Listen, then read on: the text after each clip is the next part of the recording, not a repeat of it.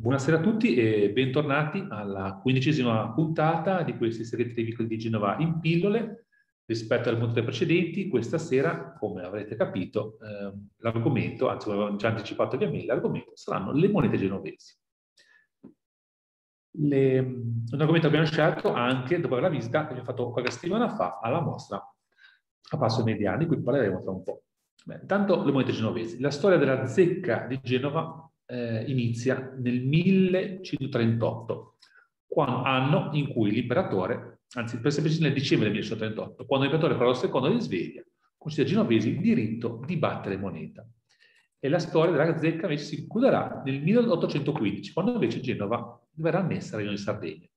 In realtà la zecca genovese continuerà a battere moneta fino al 1860, nell'unità d'Italia. Ma non possiamo più parlare di una, moneta, di una zecca propriamente genovese, e così di monete genovesi, ma piuttosto di monete del Regno Sabaudo, che poco e nulla hanno a che spartire con la storia e la simbologia delle monete genovesi, di cui vi racconterò a breve la storia. Come si arriva intanto alla, alla nascita di una moneta genovese e della zecca cittadina? Cavallo tra il XII e il XII secolo è il momento in cui le monete iniziano a circolare. Iniziano a circolare nel Mediterraneo e anche i nostri, i nostri antenati genovesi iniziano a utilizzarle, ma si utilizzano monete non genovesi, ma piuttosto monete battute nella città italiana e straniere, del Mediterraneo e non solo, oppure monete antiche come queste avete in, questo, vostra, in questa immagine. In questo caso parliamo di un solido romano con effigiato Giustiniano Imperatore. Una curiosità, vedete, la, si chiama solido. Solido è poi eh, il nome, il termine da cui deriverà il nostro soldo. Vi dicevo appunto eh, le venivano utilizzate monete di, di vari coni, di varie, di varie zecche non genovesi.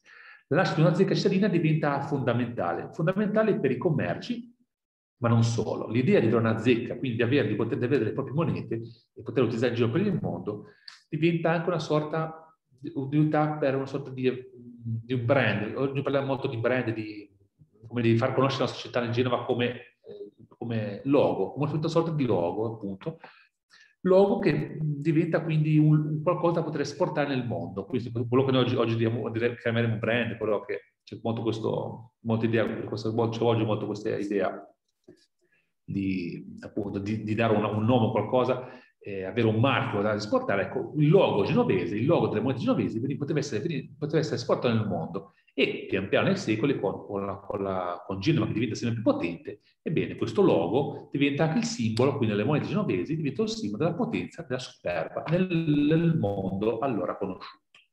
Ma poi sulla zecca, le fonti ci raccontano che la zecca genovese nel 1164 è ubicata presso l'ospizio Canonis Iudici, presso la cattedrale di San Lorenzo. Genova è la più antica città ad avere un edificio permanente utilizzato per questo scopo ed è una delle prime città nell'Italia del Medioevo ad avere una propria zecca.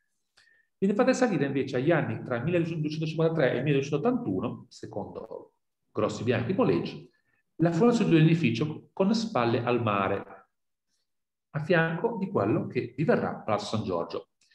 Eh, per farvi capire, se vi capita di andare in piazza Caricamento, lato, la facciata di, di Palazzo San Giorgio lato opponente, ci sono delle piccole colonne. Ebbene, quelle colonne sono le colonne dell'antica zecca, ovvero meno di quello che ne rimane. Nel cortile interno di Palazzo San Giorgio, come vedete l'immagine che qui vi mostro, invece c'è, eh, eccolo qui, una, un resto dell'antica zecca, ritrovati e qui esposti. Eh, per farvi capire, vi ricordate che Palazzo San Giorgio verrà poi edificato nel 1260. Faccio vedere, eh, per farvi, faccio vedere un'immagine che vi ricorda questo. Se vi capite nel Palazzo San Giorgio e guardate in facciata al lato via Frato Oliveri, vedete queste tre, queste tre teste leonine. Queste teste leonine, come forse vi ho già raccontato in altre puntate, sono, sono altro che trofei di guerra, trofei di guerra provenienti da un palazzo, un palazzo del Pantocratore di Costantinopoli, il palazzo veneziano che i genovesi avevano distrutto. Ebbene, in una di queste teste leonine vedete la data 1260. Questa è la data appunto di fondazione del, di Palazzo San Giorgio, appunto, che, che nasceva attaccato alla zecca, appunto. Di cui abbiamo qua un'immagine. La zecca poi sarà trasferita nel 1811 a Castelletto, precisamente sotto Castelletto. Se eh, oggi ricordiamo, abbiamo piazza Largo della Zecca, il Largo della Zecca ricorda che lì vi era la zecca. E fu trasferita lì perché lì vi erano i forni pubblici, quindi vi erano già, come dire, fonte di calore per la zecca. Infatti, prima della zecca erano proprio i forni pubblici e anche la piazza, largo della zecca, in realtà era piazza dei forni pubblici.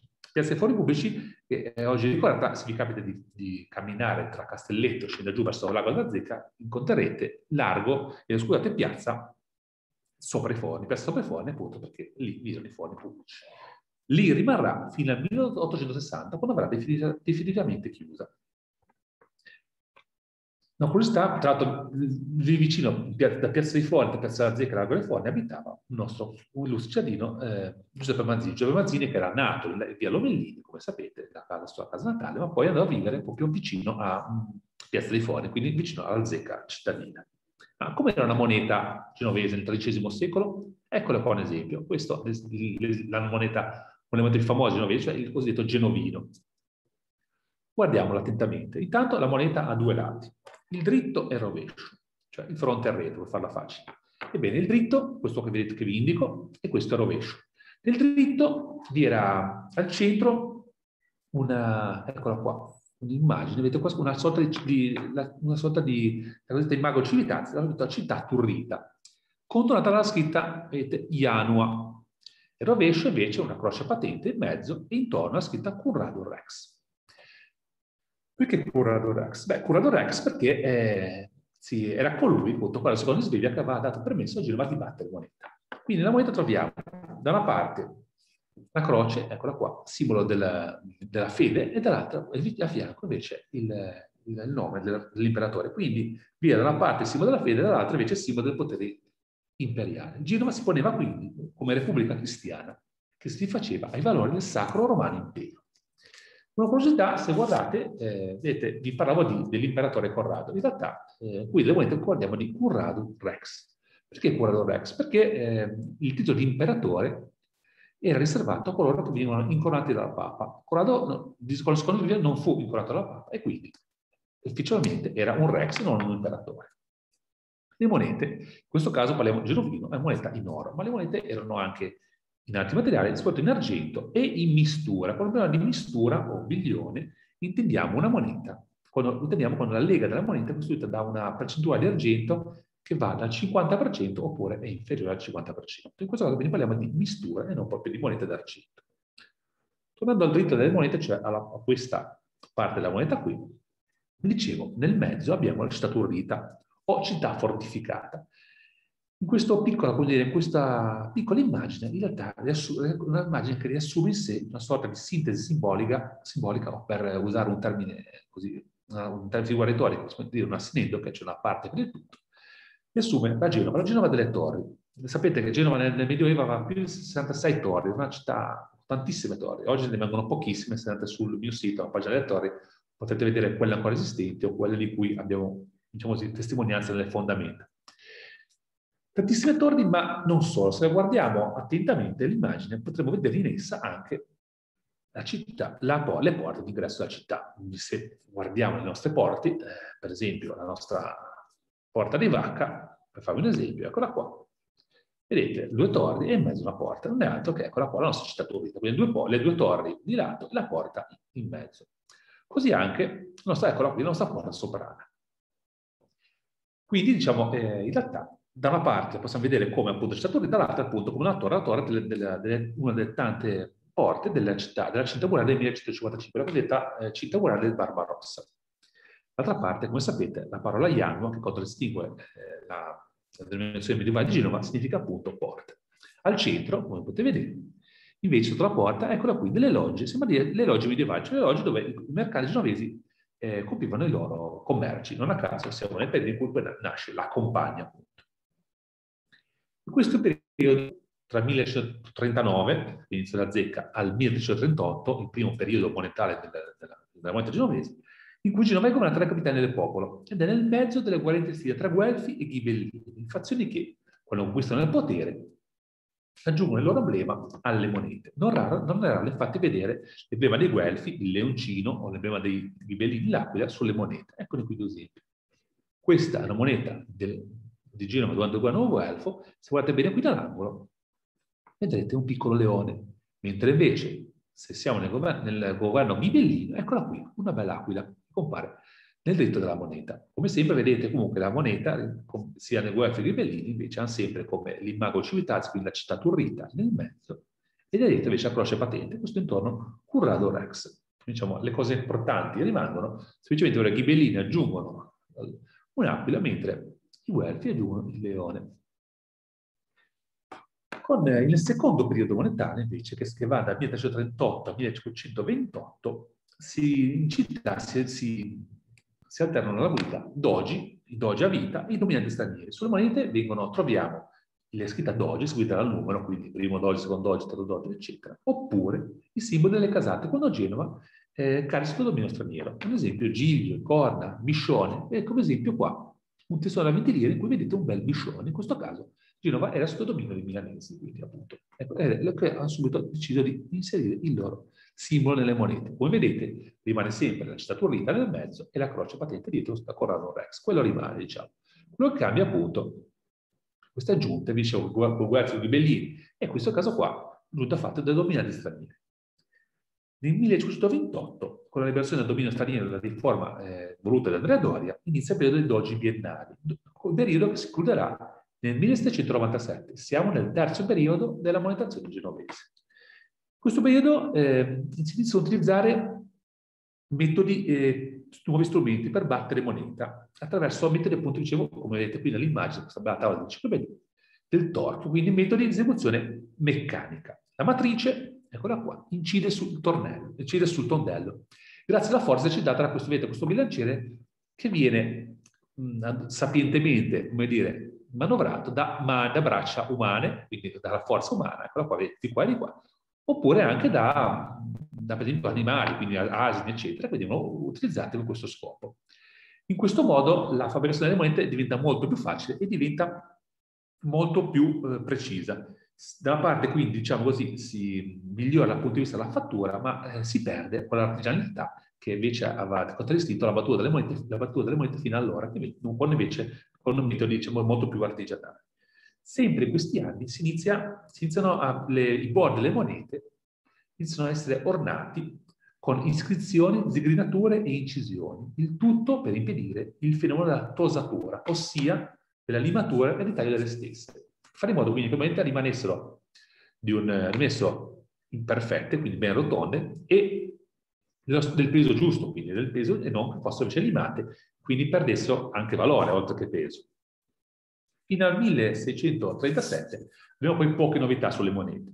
In quell'anno invece, eccola qua la moneta che, aveva, che vi ho fatto vedere, che avevamo in copertina, quindi la prima immagine a serata, in questo anno, nel 1637, come sapete, viene proclamata Maria, regina di Genova, e compare per la prima volta l'effigie della Madonna che va a sostituire sul dritto il castello, o quella famosa, la famosa, il mago Civitazzi, quella famosa eh, città turrita che avevamo visto fino ad allora ma sostituire appunto, vi dicevo, la città turrita, sul retro invece rimarrà la croce.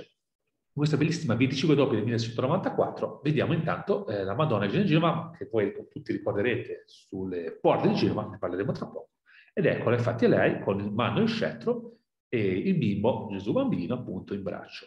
Se ricordate, nelle statue Gesù Bambino regge il cartillo et regeus, in questo caso non sarebbe, sarebbe troppo piccolino, si vedrebbe, quindi la soluzione sta quella di scriverlo qui intorno. Eccolo qua, et regeus. Oltre alla scritta et regeus, su queste monete per la prima volta troviamo l'anno, vedete, 1694, e in questo caso qua ITC, cioè colui eh, che ha materialmente eh, lavorato la moneta, battuto la moneta. Quindi avevo sia la firma di colui che ha fatto la moneta, sia appunto l'anno di fabbricazione della moneta. Dicevo, eh, la scritta et regeus e la Madonna in trono è quello che vediamo spesso. Se eh, vi capita, per esempio, di, eh, se vi capita di pensare, alla, dell'immagine, alle porte di questo periodo, prima porta della lanterna, ecco, eccola proprio, proprio così, la Madonna sul trono e Gesù Bambino in braccio. La scritta è Tregeus mi, fa, mi piace citare Cardinale Bagnasco che qualche anno fa, raccontando di, quest, della, di questa, della, della, della programmazione di, Maria Genova, diceva che la, diciamo, Gesù Bambino tiene in braccio questa scritta El Tregeos quasi a esortare la mamma a proteggere, a vegliare su Genova, più che a comandare Genova, come dice spesso, proprio a vegliare su Genova, su Genova su Genovesi.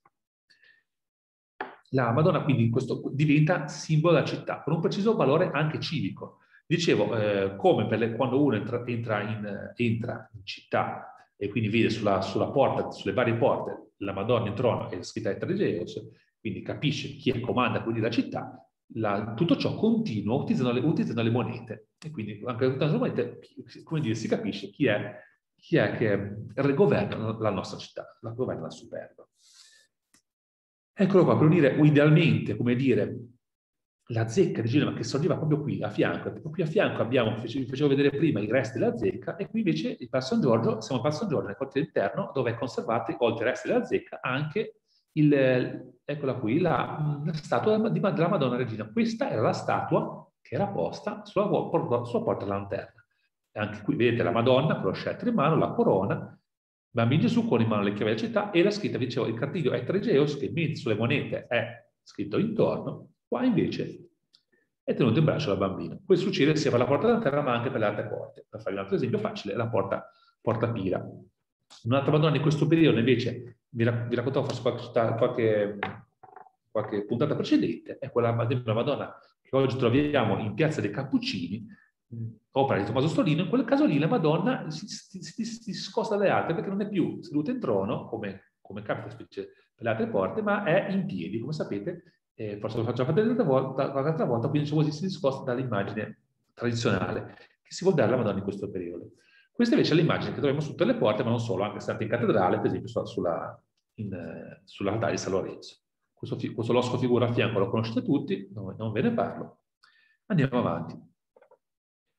Altre varianti, i santi. Ecco, tanto qui, tanto qui, scusate, tanto qui c'è la, la porta lanterna, ecco come compariva, ecco qua, vedete la Madonna in cima. Non vi sto a dire che eh, qui, qui, sotto la scritta eh, Posolo me custode, cioè Posolo me custode, scritta, eh, qui non si vede, ma fate finta, bello, quindi esiste, esiste una scritta Posolo me custode, oggi la trovate su, in facciata dell'oratorio di Sant'Antonio in Sarzano, quindi se vi capita, lì vedete il, il, la scritta che era qui sotto, quindi la lunga scritta sul marmo. Diciamo altre eh, varianti, i santi. Tra sulle monete iniziano a comparire anche i santi. Il primo a comparire nel 1630 è San Bernardo, e questo bel cavallotto, eccolo qua.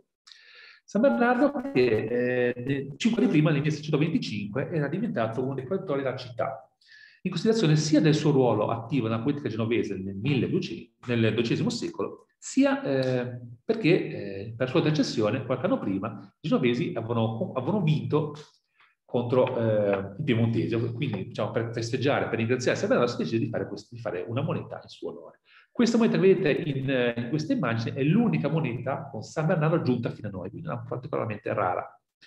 Anzi, addirittura c'è chi pensava che non fosse una moneta ma una medaglia, in quanto vedete c'è un piccolo buco, quindi si, si, si pensava, molti studiosi pensavano che si trattasse di una medaglia da appendere al collo o da tenere piuttosto che di una moneta. In realtà, studi più recenti hanno dimostrato che è proprio una moneta, moneta appunto di San Bernardo. Oltre a San Bernardo troviamo anche, poteva mancare, San Giorgio. In questo caso San Giorgio è una moneta che nel 1166 compare San Giorgio in una serie di monete battute, come immaginerete, dal banco che da lui prende il nome il solito San Giorgio con il drago. Ecco, questo vedete questa zigrinatura, vedete questa qua sono quello di cui vi parlavo prima, zigrinatura laterale, fare in modo che la moneta, questo qua vedete un pochino rovinato, ma con la zigrinatura si capisce che la moneta come dire, è intonsa oppure è stata limata, appunto, oppure ha subito la tosatura, come vi raccontavo prima. Non poteva mancare, oltre a San Giorgio, San Giovanni Battista. Qui abbiamo San Giovanni Battista, vedete, ecco qua, San Giovanni che predica, eccolo qua, mentre sul retro qui vi compare invece lo stemma di Genova, qui siamo nel 1672, e poi abbiamo un altro bellissimo qua, Zecchino, San Giovanni Battista nel 1733. Passiamo al quarto e quinto, per, quarto e quinto periodo. Il quarto periodo monetale inizia nel 1798 e si conclude nel 1905, quando, quando la Liguria viene, diviene provincia dell'impero francese. E quindi inizia il, periodo, il quinto periodo, cioè l'ultimo periodo della votazione genovese, che andrà avanti fino al 1914.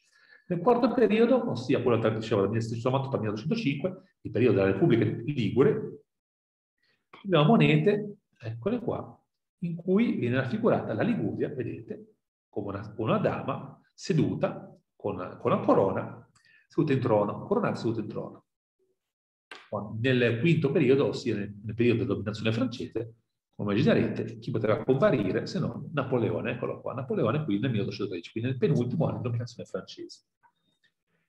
Il 1814, quindi quel piccolo periodo che da, da, da prima guerra Pince, qui prima dell'annessione al regno, di, regno di, di Sardegna, eh, la monetazione genovese riprende, come dire, gli antichi stilemi, quindi arriveremo alla Madonna, San Giorgio, San Giovanni, croci e grifoni. Vi parlerò tra poco di questi ultimi.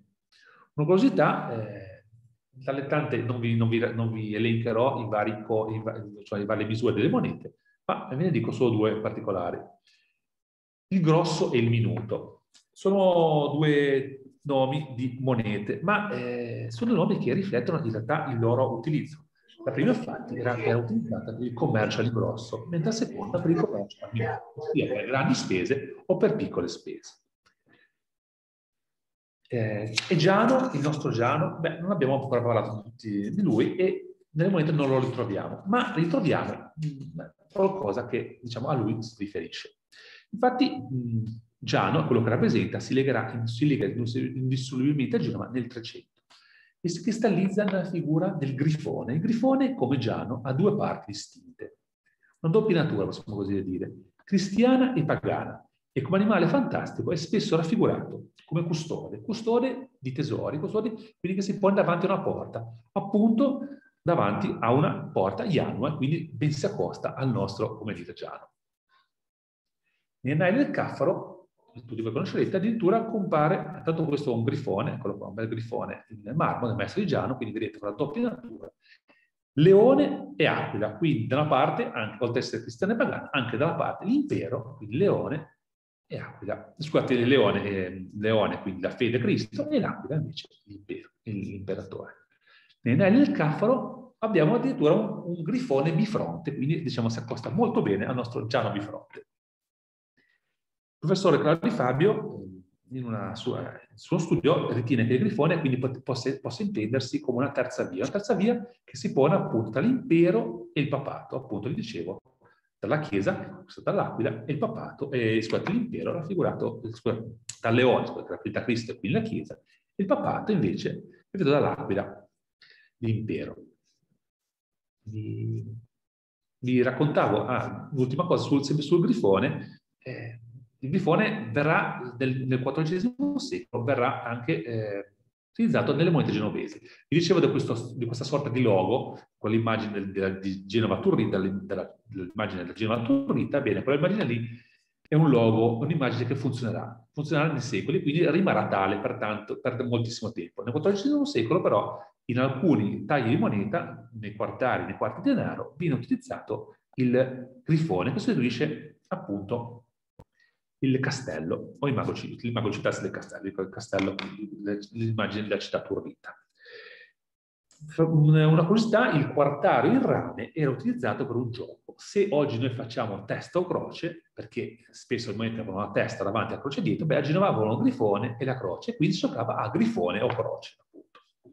Con l'annessione al regno di Sardegna, vi raccontavo prima, la, quindi siamo tra 1815 e 1860, la nostra zecca, dicevo, continuerà a lavorare, continuerà a lavorare però eh, lavorerà eh, per i Savoia, quindi eh, i simboli e ciò che viene impresso sulle monete saranno simboli del Regno di Sardegna e del Regno Sabaudo. E questo quindi, diciamo così, fa sì che non si possa più parlare forse di una zecca, di una zecca genovese, ma piuttosto di una zecca del Regno d'Italia. In questo periodo le monete che vengono stampate a Genova, tra, cioè vengono tra 1815 e 1860, hanno una piccola ancora, vedete qua, questa piccola ancoretta, che significa che le, queste monete lì sono state battute a Genova. Beh, abbiamo visto tante monete, ora però eh, diciamo dove troviamo, dove troviamo, le monete genovesi più, eh, tante monete, se volete andare a vedere le monete dove le potete trovare e soprattutto dove sono state, possono studiare o vedere fisicamente. Il, le civiche collezioni numismatiche del comune di Genova sono l'esempio più importante. Il nucleo di questa collezione, primo nucleo di questa collezione, proviene dalla biblioteca universitaria Esse poi verranno esposte la prima volta alle, alle esposizioni colombiane del 1892. L'anno successivo, 1893, verranno, verranno poi esposte a Palazzo Bianco e lì rimarranno verranno nel mentre ci saranno ulteriori arricchimenti fino al 2004. Nel 2004 invece eh, arrivano a Palazzo Tursi e lì rimarranno fino ad oggi. Ancora oggi sono lì eh, e possono essere visitate da tutti voi. Accanto a questa collezione si, coll- si posiziona un'altra importante collezione, la collezione monetaria di Banca Carige, una collezione nata nel 1966 e arricchitasi nei decenni con varie acquisizioni. La più importante forse è quella di una collezione di un tale milanese Carlo Gavazzi, che aveva più di mille monete, una collezione acquistata dalla Banca Regia nel 1973. Quello che vedete qui davanti a voi in questa immagine è la Bibbia, per chi volesse conoscere, per chi diciamo, volesse approfondire l'argomento, infatti non posso consigliare questo libro, edito da String Editore, dal titolo emblematico Le monete genovesi, libro del 75, scritto da Giovanni Pesce e Giuseppe Felloni. Diceva proprio una vera e propria Bibbia sull'argomento, un libro che io avevo già a casa dei miei genitori, quindi fino a piccolino ascoltavo e che anzi eh, eh, che ho avuto in regalo da una socia, il nostro Giano, eh, negli ultimi anni, quindi che ora ho ad avere a casa dei miei genitori e anche a casa mia, quindi un libro che vi consiglio, comunque è un libro che si trova anche usato, eh, sulle banche delle alleanze, adesso che c'è, giusto che sotto Natale che, che, ci sono le monete che banca adesso nelle Mazzini, vi consiglio di acquistarlo se volete approfondire l'argomento perché è un libro fatto molto bene ed è proprio un must se volete conoscere un po' bene le monete genovesi. Come ultimo argomento di stasera vi racconterò, ma non vi preoccupate, abbiamo ancora qualche minuto di, di racconto. Ebbene, vi volevo, volevo parlarvi della mostra di di Re Denaro. Tanto ringraziare Palazzo della Mediana che ha accolto me e gli altri Socigiano, anzi ringrazio anche Socigiano che sono venuti due settimane fa perché era una, una, stima, una, una giornata con un tempo infame, diluviava, quindi chi è riuscito a venire è stato veramente coraggioso. E mh, ringrazio Palazzo Mediana e colgo, diciamo, tanto se colgo l'occasione anche rubando, tra virgolette, le parole dell'ingegnere Viziano, che presidente dell'associazione degli amici del Palazzo Mediano, nonché padrone di casa Palazzo Mediano, che nella, quando parlava della mostra, un, così diceva, era, la mostra ha lo scopo di indagare in modo approfondito e trasversale la storia della città di Genova attraverso il denaro, che si vuole analizzare come mezzo e non come fine. È proprio quello che eh, vedrete, questa, vedete in questa mostra. Quello che vi ho fatto vedere stasera, tante immagini, alcune di esse sono immagini tratte dal catalogo della mostra e alcune monete che abbiamo mostrato stasera sono, come per esempio quelle bellissime 25 doppie con la Madonna, sono esposte a Palazzo Mediana. Questo è anche un modo per poter vedere da vicino le monete, quindi a vedere, capire la grandezza, quando, per esempio la dimensione semplicemente, a vedere anche la bellezza eh, che le immagini non possono, non possono rendere, come dire.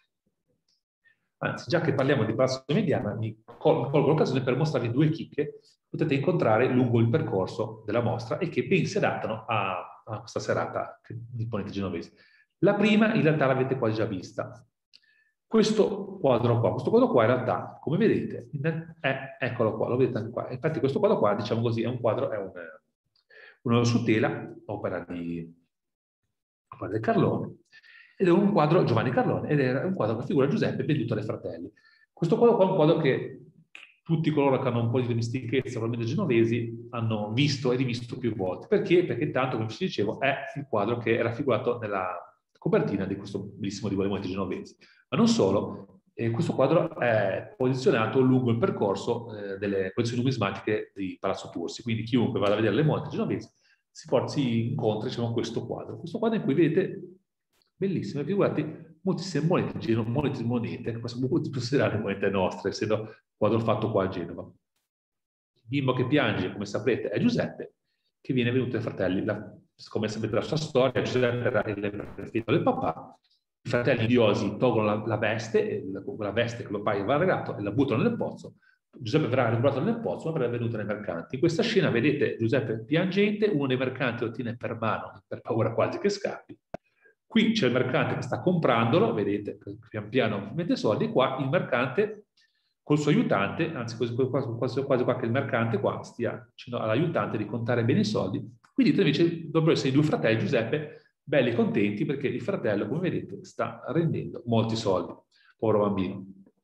Detto questo, eh, un'altra chicca, forse è una cosa più bella che potete vedere alla mostra, è questa. Eh, sapete, io, come chi, chi, mi segue da un po' sa che tra, tra le tante cose che amo a Genova, uno degli argomenti preferiti sono i presepi, anzi molti di voi saranno venuti a vedere con me nel 2019 ormai, direi, o 2020 inizio, sì, direi 2000, eh, 2000 sì, è stato forse all'inizio della pandemia proprio, inizio 2020, l'ultima gita già l'avevamo fatto prima, di, prima de, della disgrazia Covid, fate vedere quel bellissimo presepe a San Bartolomeo, sopra Staglino. Ecco, bene, da tante figure non vi era questa. Questa figura qua è una figura che, eh, è, una figura che è rarissima, sono, ci sono solo tre figure come queste, cioè sono figure in cui una statuina del presepe tiene in mano, in questo caso tra l'indice e il pollice, una brillante monetina d'oro. Eccola qua, qui la vedete bene. Poi vi farò vedere un'immagine ancora più bella. È un'immagine rarissima.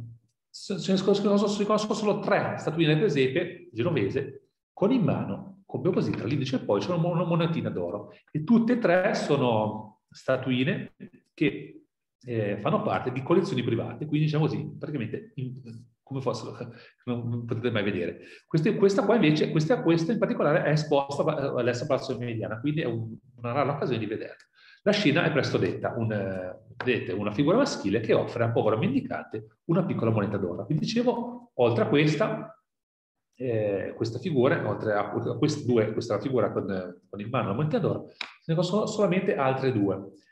Ce ne viene una con una, ricca una ricca figura, figura vestita, una figura femminile riccamente vestita, e un'altra invece una figura femminile dall'incarnato scuro, scalza, con la testina rasata e, una, e le orecchine a goccia dorata, forse una, schia, forse, una, forse una schiava turca del corteo dei magi, che tenta di darci un bambinello, anch'esso seminudo. Queste tre figure che vi ho appena raccontato sono le uniche tre figure conosciamo con in mano, qui si vede ancora meglio, questo particolare forse lo vedete benissimo, scusate la foto l'ho fatta io, spero che si veda bene, questa piccola monetina d'oro, se, se, pensate che le statuine per sono alte più o meno un po' più di un palmo, fate, fate, fate capire, fate capire velocemente quanto sia piccola questa monetina, che però è una brillante monetina d'oro. Inutile dirvi che eh, se andate a vedere la mostra avete l'occasione di vedere appunto questa rarità. A proposito della mostra, eh, come tanti altri, eh, come, come, nei musei cittadini genovesi, cittadini, musei, come musei civici e come in altri luoghi come Palazzo Romellino, anche Palazzo di Mediana aderisce alla convenzione con Giano e quindi andando a vedere questa mostra e mostrando la vostra tessera Giano avete diritto a, una, a uno sconto sul biglietto ingresso.